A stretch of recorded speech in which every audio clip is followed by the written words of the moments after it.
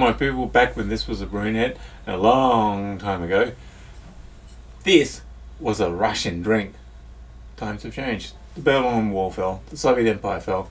This became a Latvian drink. It's Stolichnaya, which sounds Russian. It doesn't sound at all Baltic, does it?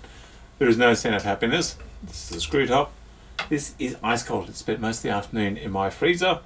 It is 38%, not proof. It's a miracle that it's still um, it's basically drinkable.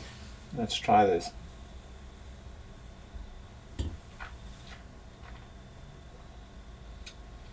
The good news is the recipe is identical to what it was when I drank it back in 1985. The bad news is the recipe is exactly what it was when I was drinking it back in 1985. This is Stolichnaya. It is an extremely popular vodka. It's 38%. It set me back about $55. Longer review